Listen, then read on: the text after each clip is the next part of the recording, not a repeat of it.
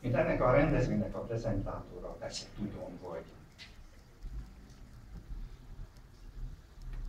nagyon nehéz összefoglalni azt a 35 évet, amióta Pilcsi Gyurka, mert falunk közt csak Gyurkára nevezünk, a levéltába vetett a lábát, ismét egy jubileum És teljesen tiszta vagyok azzal, hogy az ünnepeltet és a kötetet egyszer bemutatni valóságos. Braul lenne, ha sikerülne. Megkíséreljük mégis, mert nincs más.